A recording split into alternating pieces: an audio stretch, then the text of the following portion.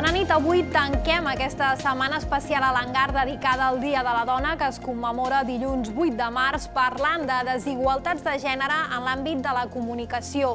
Un sector on les dones són encara minoria als llocs directius dels mitjans de comunicació, tot i que les aules de les facultats són clarament majoria. En parlarem de tot plegat avui a l'hangar amb la periodista calderina Maria Núria Ravella.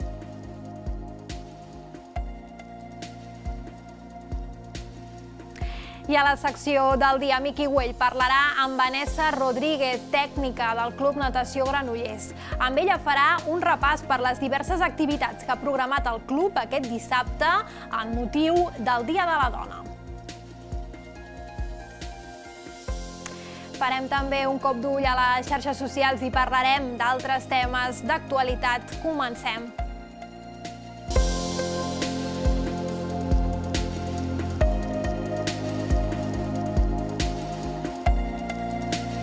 La paritat entre homes i dones segueix sent una fita llunyana en el sector dels mitjans de comunicació, sobretot pel que fa a les posicions de direcció.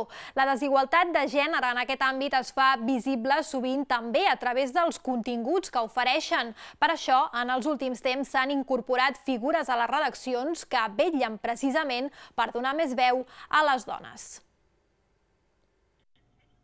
L'anomenat sostre de vidre segueix sent molt present al sector dels mitjans de comunicació, segons un estudi recent de l'Associació de Dones Periodistes de Catalunya, que ha analitzat un centenar de mitjans d'àmbit català, només un 22% de les directores de mitjans són dones.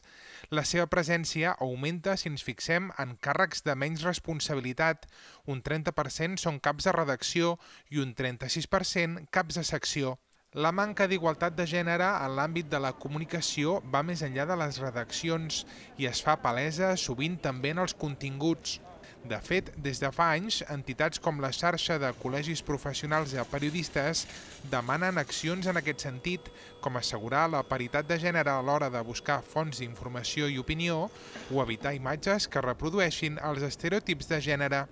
En aquest sentit, en els últims anys s'han començat a introduir figures a les redaccions conegudes com editores de gènere que, a banda de treballar per erradicar la bretxa entre homes i dones dins de la pròpia empresa, també posa l'atenció en aconseguir una major visibilització de les dones en els diferents sectors o atorgar major protagonisme a l'esport femení i a la cultura creada per dones. Saludo ara la Maria Núria Ravelles. Ella és uh, periodista, ens acompanya avui al plató de l'Hangar. Gràcies per acompanyar-nos. A vosaltres. Um, per fer una mica una breu introducció sobre tu, eh? tu, tu ets periodista, ets calderina, Maria Núria, uh -huh. um, i estàs especialitzada en, en l'àmbit de tribunals. Sí, de Com justícia arribes? i de tribunals.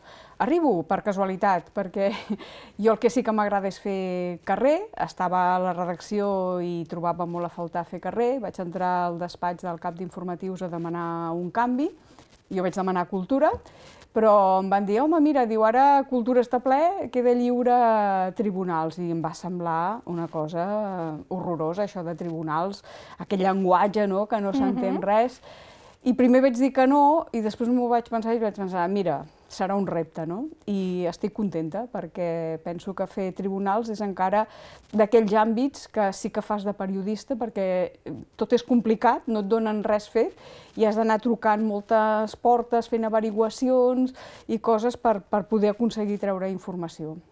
Um, entre els teus companys hi ha més homes, hi ha més dones? En aquest sentit, eh, com està això? Mm, doncs jo diria que si fa o no fa, eh? Si fa o no fa. Potser hi ha més homes al que seria premsa escrita, uh -huh. i hi ha més dones a ràdio, a agències, mm, però per igual, eh? Per igual. És algo que, que ha canviat al llarg dels anys? Has vist alguna evolució en, en aquest sentit? Clar, jo fa 10 anys que faig això. Potser, segurament, eh, fa uns quants anys era més patrimoni d'homes, no? Tot, tot això, ja et dic, sobretot els de premsa escrita però la veritat és que des que jo estic mm, hi ha hagut bastant moviment, eh? perquè allò que ja vas veient, per exemple, agències que canvien força, mm, per, igual per igual, eh? jo diria, homes i, i dones. Uh -huh.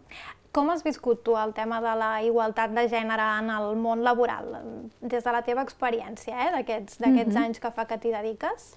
Jo, en principi, no m'he trobat mai amb res, ni he estat conscient de que se'm discriminés per ser, per ser dona.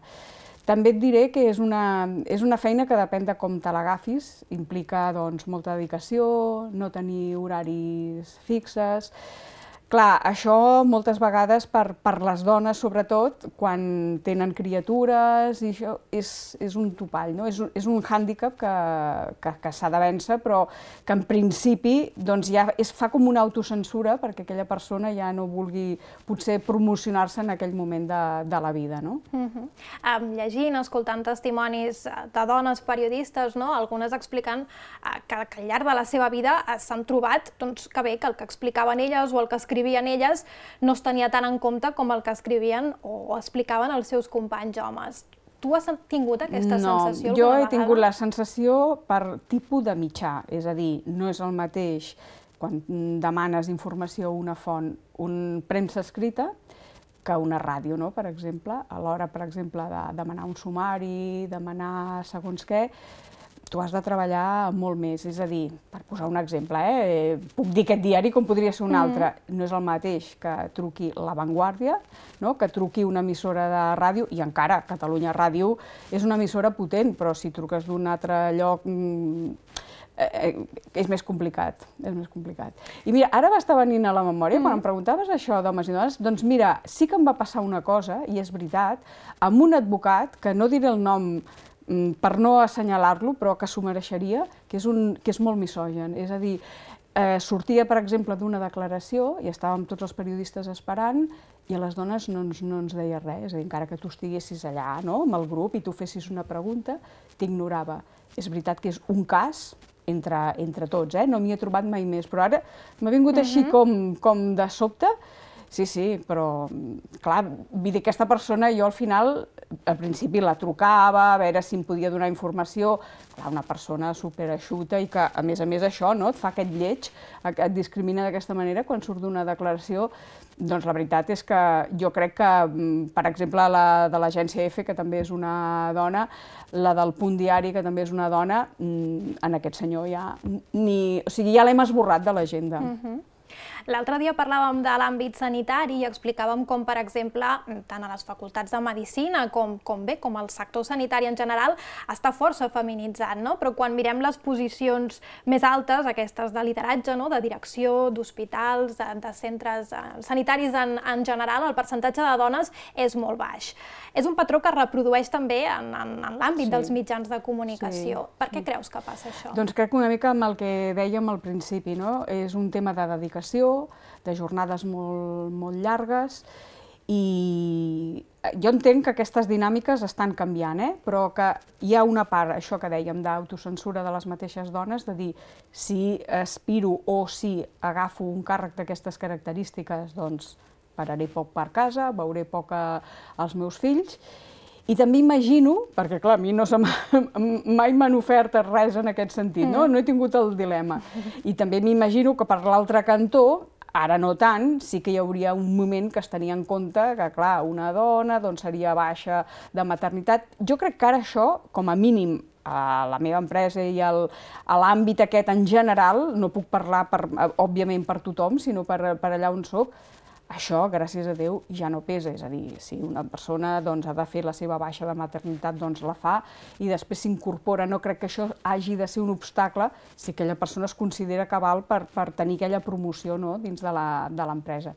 Però certament és veritat que les redaccions estan atapeïdes de dones, fent tots els horaris de, que, que hi pugui haver, perquè sobretot treballant amb una emissora no, que és 24 hores, pots fer qualsevol tipus d'horari, i a les direccions doncs, costa molt més que hi hagi representació femenina. N'hi ha, eh? però, però poca. Com l'has viscut tu, precisament, a aquest tema de la maternitat i de la conciliació familiar? Clar, és un tema que, depèn de com siguis, eh, et provoca doncs, molts, molts interrogants, moltes preguntes i respostes internes que t'has de, que de respondre, no? i sobretot davant del teu primer fill, no? que penses, clar, no saps eh, a què t'enfrontes no? Uh -huh. amb això d'una primera criatura, i a més a més és el teu dret de voler-ho i poder-ho viure. No? Uh -huh. Ja dic, amb una feina que té horaris complicats, que, que clar, ja sabem que les notícies peten quan, quan, quan peten, no? Uh -huh. No sempre peten al millor moment. I, I, evidentment, si ens dediquem a les notícies és perquè ens agrada i ja assumim això, perquè si volguéssim treballar de 8 a 3, doncs estaríem a, a la caixa o en un altre lloc, no? Però sí que et crea... Eh, molt debat intern, no? Llavors, no ho sé, jo, per exemple, la meva primera filla en aquell moment no estava en una emissora de ràdio, estava el tema comunicació, però per una empresa, de manera que ho podia solucionar, entre cometes, força bé, corrent, no? Eh, com, com moltes vegades anem com a boges per intentar tocar-ho tot, corrent molt, vaig fer els quatre mesos de baixa corresponents i em vaig incorporar. En canvi, per la segona, ja tens el, una mica mm, l'experiència de la primera, veus que creixen molt, molt ràpid, i, i vaig pensar que si m'ho podia permetre, doncs em vaig agafar una excedència fins que va complir un any, i perfecte. Tampoc crec que això eh, signifiqués un pas enrere en la meva tasca professional, perquè al final són trajectòries de molts anys, que és un any de la teva vida professional, no? Uh -huh. quan, quan sumes. En canvi, si has pogut dedicar, jo ho veig així, eh? segurament un altre ho veurà d'una altra manera, un any de la teva vida aquella persona no? que acaba de néixer i que l'has pogut gaudir sense haver de preocupar-te de cap més altra cosa, penso que és un luxe, si pots fer-ho, eh? que tampoc està clar que ho puguis fer, perquè, clar, eh, una excedència vol dir que no tens eh, retribució econòmica, la baixa dura el que dura, no? Mm -hmm. Maia Núria Rebella, ho hem de deixar aquí. Uh, uh, que ha, curt. ha passat molt ràpid. Molt curt. Uh, podríem seguir parlant uh, segurament molta més estona sobre Segur aquest tema. Sí. Gràcies per haver volgut avui ser aquí, per haver-nos explicat també una mica el, el teu testimoni. Moltes gràcies per acompanyar-nos. A vosaltres. Adéu-siau.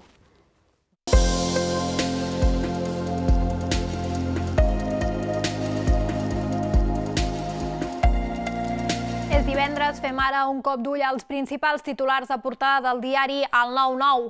L'edició d'aquest divendres està especialment dedicada a fer un repàs per com ha afectat a la comarca del Vallès Oriental aquest primer any de pandèmia del coronavirus. Han estat prop de 27.400 contagis i un miler de defuncions des del passat març. Ens amplia aquest, ens amplia aquest i altres titulars de la setmana el director del 9-9 al Vallès Oriental, Jesús Medina. La primera plana del 9-9 obrim amb un titular d'aquells que, que, que impressionen molt, perquè hem fet un repàs a aquest any de pandèmia i un any després, tal com diem, hi ha 980 morts aquí a, aquí a la comarca. És a dir, eh, si la cosa continua igual, mm, d'aquí no res s'arribarà al miler de persones mortes per culpa de la, de la Covid per il·lustrar-ho, eh, expliquem un, una història que ens ha semblat molt, molt maca, que és una parella de parets, eh, que són la família Romero Guerrero, que van morir eh, aquesta setmana passada eh, tots dos avis, eh, amb, només amb 10 minuts de diferència. Estaven ingressats a l'Hospital de Mollet amb Covid i primer va morir la senyora Lària i després va morir el, el seu home. Va morir, va morir l'àvia és només un exemple concret de moltes situacions tan horroroses que han estat passant durant, durant aquest any. Però no només parlem de Covid a la portada del 9-9 també dediquem un reportatge molt ampli a fer el seguiment sobre el tancament o l'anunciat tancament de la fàbrica de bosc a Lliça d'Amunt. Aquesta setmana ja han començat les mobilitzacions dels treballadors, hi ha molts polítics que s'han acostat fins a la planta per conèixer la situació. I de fet també eh, ja han començat, tot i que de forma molt, molt inicial, les primeres converses entre els representants dels treballadors i els representants de la direcció. I els treballadors confien que eh, es pugui fer un pla que eviti el, el tancament d'aquesta fàbrica que dona feina a més de, a més de 300 persones a la comarca. I després d'això també mm, fer un incís sobre la mort de, de Marcel Molins, que és un advocat de prestigi que vivia a Chicago, però ha mort a 84 anys, però que de fet era fill de Granollers i s'estimava moltíssim Granollers. És important la figura de Marcel Molins perquè ell era soci d'un despatx d'advocats que es diu Baker McKenzie que és el tercer eh, despatx d'advocats del món en volum de facturació. Perquè us en feu una idea el 2019 que és eh, l'últim any del qual se'n tenen xifres van facturar 2.900 milions de dòlars i treballen arreu del món perquè aquest, aquest bufet d'advocats té eh, està present a més d'una cinquantena de països dels, dels cinc continents i treballaven pràcticament 13.000 persones.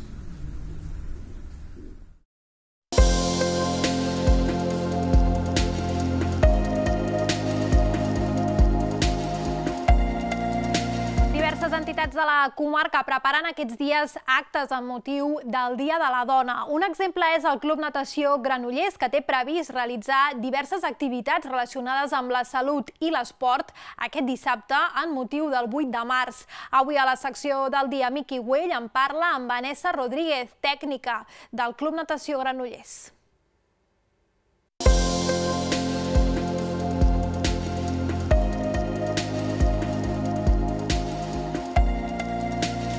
Així és, eh, Clàudia, avui parlarem amb la Vanessa Rodríguez del Club Natació Granollers, eh, parlarem d'esport de, i de dona i dels actes que realitzarà el Club Natació Granollers eh, durant aquest dissabte en commemoració d'aquest Dia de la Dona. Vanessa Rodríguez, cap del Servei d'Activitat Física del Natació Granollers. Benvinguda, bona nit. Bona nit, gràcies. Uh, vaja, mm, dissabte, el dia que dediqueu al club per commemorar el Dia, el dia de la Dona, amb, amb una pila d'activitats. Eh? Tinc aquí una llista, és de xerrades, tallers... Una miqueta, quina és la, la idea, Vane? Bueno, aquest, aquest any volíem una mica donar molta importància no? al que seria l'entrenament de, de la dona, i el, o sigui, l'entrenament de la força en la dona. ¿vale? Eh, perquè bueno, nosaltres portem, jo porto molts anys al sector de, del fitness i, i sempre hem vist que sí que és veritat que la dona cada vegada doncs, ve més al gimnàs i podíem parlar de que, de que estem en un 50% no? d'afluència d'home i dona, per tant parlem d'igualtat, sí. però sí que és veritat que la dona encara li costa molt tot el que és entrenament de força, ficar-se a la sala de peses, anar-se a la zona de pes lliure i aixecar pes, i veus més a la dona classes més de gimnàstica suau o classes dirigides més de tipus step, tipus zumba. Mm -hmm. I bueno, volíem una mica donar aquesta importància aquest any i ei, no perdis, no perdis la por a entrenar força, que és superimportant. Per, per què creus que hi ha aquesta por? O potser és més que qüestió de prejudici? O per què creus? És una mica de tot, no? Primer, bueno, hi ha gent que és un tema de vergonya, mm -hmm. de, allà hi ha massa, massa home i, i no em fico a la zona de, de pes lliure o la zona de peses, i també hi ha una part de... Jo no vull posar-me catxes com, com, com un home, no? Sí. I també hi ha una creença que és errònia que realment no és així. Vull dir, la dona, per molt que entreni força, no es posa com un home. Sí, Vull dir, sí, sí. és un tema hormonal. Per tant, hi ha una mica també de creença. Mm -hmm. uh, una miqueta, aquesta, uh, aquesta xerrada, per exemple, que comenceu a les, a les 9 del matí amb, amb la xerrada alimentació, etapes de, de vida de la dona, tot, tot enfocat, deies, al treball de, de força, eh? Bueno, en, en aquest cas, eh, a nivell d'activitat física sí que farem tot el treball de força, enfocat molt a força, i després tenim les diferents xerrades que tocaran diferents temes. Uh -huh. El de les 9 del matí és amb la Laia, és nutricionista, i parlarà de l'alimentació i les diferents etapes de la dona. Uh -huh. Lo típic, no? I què passa quan arribo a la menopàusia, no? I sí, què passa, sí, sí, no? Sí, sí, sí. Eh, per què m'engreixo, per què no m'engreixo, què tinc que menjar? Pues, bueno, una mica pensant en la dona i en les diferents etapes que, que, bueno, que passa, no? Mm -hmm. uh, vaja, el Natació Granollers uh, és indubtable que el, uh, el treball amb la dona hi ha estat des de, des de sempre, no? De fet, uh, moltes de les seccions, uh, la són, majoria són, són dones, dones, no? Sí. Uh, tot i això, com, com, com ve? És a dir, encara que entenc que queda molta feina per fer, molt, molt de treball per fer, i de fet per això se celebren dies com, com aquest, no? Sí. Jo penso que, bueno, a veure, nosaltres tenim mm, això, no? la sort de que tenim molta presència de dona, vale? I, mm. bueno, precisament no? tenim la natació artística, que tots són, gairebé tot, totes sí, són dones, sí, sí. però sí que és veritat que en l'esport, quan parlem d'esport de competició, eh? sí. inevitablement encara és una mica invisible la dona i mm, agrada més no? eh, sentir el futbol eh, o és més d'interès el futbol eh, masculí que el femení. Sí. Vull dir que hi ha molta feina. Eh, mm però no ens podem oblidar que a les últimes no, eh, competicions olímpiques doncs, hem tingut molta presència femenina, per tant, això vol dir que les dones estan allà, no? Estan empenyent estan... Estan empenyent fort, mm. sí, sí. Uh, això pel, pel que fa a la, a la vessant competitiva, la vessant, com deies abans, abans ho apuntaves, no? la vessant social, social, potser sí, no?, que la, la dona s'ha alliberat més en aquest sentit, de, de, de les pors potser d'anys sí. enrere. Sí, sí, jo sempre dic, no? Jo penso la meva àvia i, bueno, mai havia anat a un gimnàs, vull dir, i ara mateix sí que és veritat que tu vas al club, vas al gimnàs i, i veus de tot tipus de perfil, i és com una normalitat. I és el que diem, eh? nosaltres al club tenim un 50% d'homes, 50% de dones, de tot tipus d'edat, mm. i, i és veritat, és que veus molta presència i, i agrada veure a, homes i dones entrenant, perquè és que és important, no? Sí, sí, sí. Jo penso que amb això hem fet bona feina. En general, tothom, eh? Tothom. Sí. Entenc també, i no sé si, no sé si ara, ara li faré la, la típica pregunta trampa, eh? Uh, en temps de pandèmia no sé si has notat que potser el, les dones han baixat més que els homes en quant a, a fer exercici o no, de, en quant a venir al natació Granollers, venir al gimnàs, o, o no? O creus més que o menys ha... igual, sí que és veritat que potser una miqueta, una miqueta menys, i jo m'imagino que també té molt a veure amb, amb el cuidado no? que, que han, han tingut que tenir millor amb familiars o bueno, que, que mm. d'alguna manera la, la logística ha sigut diferent per elles, però no segurament. Per, però no per por però no per por. Jo penso, bueno, a veure... Mm, deu haver-hi de tot, evidentment, sí. clar, generalitzar és complicat. La dona gran, per exemple, sí que ha tingut, bueno, ens ha mostrat una mica més de por, no? La mm. Dona més gran, doncs, bueno, no? a compartir els espais, eh, a l'estar doncs, bueno, no? amb, amb jovent, als vestuaris... Clar, clar. És... Però en general, bueno, jo he vist homes i dones i han vingut i bueno, potser sí que ha sigut no? Un, una mínima part que, mm. que no han vingut, però bueno, Uh, Però tornen, ja estan, ja estan tornant. Sí, no? Sí. A poc a poc es va, es va recuperant. Eh, sí, aquesta... aquesta setmana hem notat ja una, bueno, no, ganes de venir, moltes cares que feia temps que no veiem mm. i bueno, molts feliços tots. Escolta, Vane, uh, vaja, la pandèmia ens ha agafat a tots per sorpresa. Vosaltres us heu hagut d'anar reinventant una miqueta sobre la marxa. Uh, em refereixo a vaja, totes les classes que heu fet uh, via internet, uh, virtuals, etc etc. Eh? Uh, això ha vingut una miqueta per quedar-se en, el, en el vostre cas? O, és a dir, es continuarà aquesta línia? Perquè també és una, pot ser una línia no? que, que vagi bé en... Sí, sí. Jo, bueno, jo penso que sí i tothom del sector parla que sí. Eh? Vull dir, tota la informació que ens arriba és que això es quedarà. Jo penso que tothom, quan vam tancar el, el mes de març, ja ara farà un any, sí eh, tothom va començar no, a obrir una mica les portes de, de, de, de casa virtual, o la finestra no? aquesta virtual, no? Sí.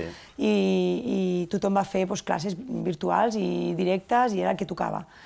I ara mateix, per exemple, nosaltres setmanes enrere doncs, eh, combinàvem classes presencials amb, amb, bueno, amb, amb, amb classes de tipus Zoom, vull dir, la mateixa classe que es feia en directe, en presencial, amb un ordinador i tal, i la connexió, bueno, via Zoom, uh -huh. doncs fèiem classes eh, eh, a, a l'hora, no? Per tant, teníem la persona que no li feia por venir a la instal·lació és que aquí i fer anava, la seva eh? classe amb la seva música, amb la seva gent i veure les cares, i després tenies a l'altra, a la pantalla, tenies a la persona que dius, bueno, jo de moment no vinc al gimnàs, però vull estar amb la Vane, vull estar amb el Xavi, vull estar amb els meus mm -hmm. tècnics i, i em sento que, que estic a la classe. Uh, pues sí. Aquí anava una miqueta, no? Sí. Això que parlàvem d'aquesta gent que potser li fa una mica més de, de cosa, li té sí. més respecte per la seva situació, que es pot aprofitar d'aquesta branca que s'ha fet. A banda també uh, de la zona de la zona outdoor, aquesta zona de fitness recent estrenada fa, fa ben poc sí. de Calistènia. Sí, sí. Uh, com us està funcionant això? No, molt bé. Bueno, sí. I jo penso que quan arribi el bon temps això Encara és un caramelo. No? És un caramelo. ja, ja et dic, ja et dic. Perquè, bueno, entrenar allà i amb tot... Bueno, primer, les vistes que tens, no? Sí, sí. Tenim una expansió de terreny, no? Amb la gespa, amb les piscines, que que bueno, és, és un luxe, vull dir, entrenar allà és un luxe. I sí que tenim perfil que decideix entrenar dins perquè, no sé, ho té tot, no? Té la politxa, té, té la seva zona de màquines dirigides, sí, té la seva, la seva zona...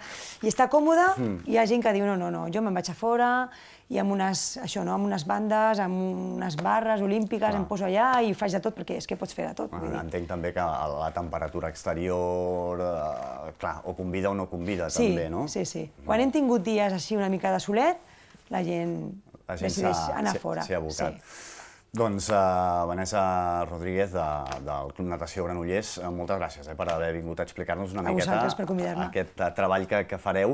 Uh, heu, heu agafat dissabte, em comentaves abans de començar, una miqueta per, per, perquè la gent pugui venir, no? Per, sí. Per, perquè entre setmana potser és més complicat. Sí, la, la idea era això, no? una mica que la gent es pot compaginar no? amb, amb la família, deixar els nens o el que sigui, que puguin venir, Clar. que a vegades és el típic, no? entre la feina, entre els nens, la logística, no puc venir, i una mica això, no? la, la xerrada que comentàvem abans era la de la, de la nutrició i després fer un, una altra xerrada de, de, sol pelvià, de sol pelvià, que és un tema que a la dona li preocupa molt, no? Mm. És el múscul típic oblidat, que mai entrenem, i és un múscul molt interessant perquè és el que diem, no? ens dona qualitat de vida, i després un, una altra última xerrada taller, perquè són xerrades són tallers. Xerrades tallers sí, eh? perquè és, és pràctic. Val. I treballarem tot el tema de respiració, que amb tot el tema de la Covid penso que és superinteressant i és la xerrada que més, que més, més interessa a, a, sí? sí, ha generat. I, I això et volia preguntar també, no, no sé si, si ho tens comptat o, o no, de, és a dir, si, apunten dones, evidentment, entenc, però hi ha sí. molts homes que s'han apuntat a aquestes xerrades o, o no? En principi tenim presència de dones, de però... Dones. Entenc que la de sol pèlvic potser un home... Bueno, no sé si... si bueno, no crec tothom que... té sol pèlvia, eh? Sí, vull, dir... vull dir que no... Però sí, és veritat que és un tema que, que, bueno, que atrau més també... a les dones. Que això també per què, no? Sí. És a dir, al final és el nostre cos i... Un dia no? parlem de sol pelvià i els homes, eh? Ui, sí? sí? tenim molta estona. Sí, sí. He anat a treure el tema, eh? Tenim molta estona per parlar. Sí, perquè és el que diem, és un múscul més i, mm. i té unes funcions que... que, que el que bueno. dèiem, aquests prejudicis, no? Mm. O aquestes, no? Aquestes... Sí, això és per dones. Falses creences, exacte. Sí. Aquestes falses creences, no? Això és una cosa de dones. Sí. Quan... Ah, però amb això l'home també ha canviat, no sé si, si ho noteu en el club, uh, l'home també ha canviat bastant la manera, o l'home que ve a fer exercici. Sí, igual que t'he comentat abans, no? que és veritat que hi ha molta dona no? que va a les classes dirigides, que si la classe zumba o ginàstiques més suaus, i cada vegada hi ha doncs, bueno, més presència no? a classes de, més de força. De, de fet, intentem donar molta importància al treball de tipus full body, tipus crossfit, etc. Doncs igual a l'home. A l'home surt una mica de la sala de màquines, comença a fer unes classes més de postural, més de, o hipopressius, o tipus de classes que abans no, no veies a homes sí, a les sí, classes. Sí, sí. I ara ja és, miqueta, no? Clar, és que al final és un tema d'equilibri. Vull dir, hem sí, de fer sí. de tot, hem de sí, fer sí. cardiovascular, hem de Perquè fer entrenament de força... Perquè un treball és bo per un home i no per una dona i al revés, no? Clar. Al final tot és ha de ser equilibrat. Sí, sí, jo sempre sí. dic, ni, ni podem fer només un treball cardiovascular, ni només podem fer un treball de força, ni només gimnàstiques suaus. Hem de fer una combinació de tot, home i dona. Doncs, uh, Vane, el que et deia, moltíssimes gràcies per haver vingut i que vagi molt bé aquest uh, Dia de la Dona. Igualment, gràcies. Gràcies.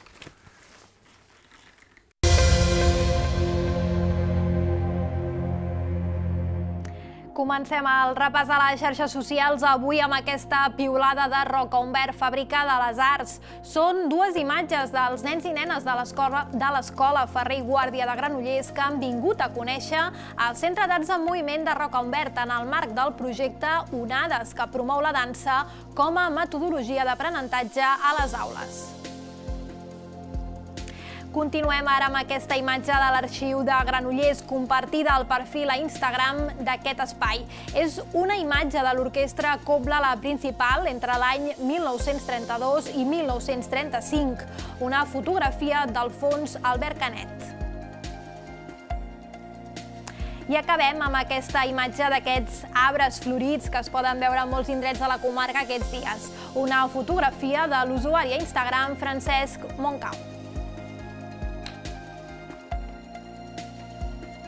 Doncs acabem així l'últim engar de la setmana. Abans d'acomiadar-nos, recordeu que diumenge podreu recuperar totes les entrevistes que hem fet aquesta setmana en un engar especial a partir de les 9 del vespre, amb moltes més sorpreses per escalfar motors de cara al Dia de la Dona d'aquest dilluns 8 de març. Moltes gràcies, bona nit.